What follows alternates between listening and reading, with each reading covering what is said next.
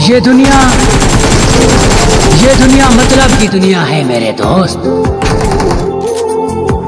मुलाकात करने वाला हर शख्स खास नहीं होता।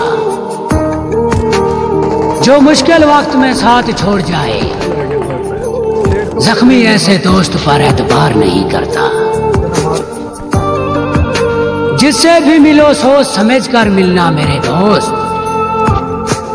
क्योंकि दुश्मन कभी वार करने से नहीं डरता। हम इतना कमज़ोर नहीं जो किसी की सोच से रुक जाए। बलोच जब मैदान में कदम रखता है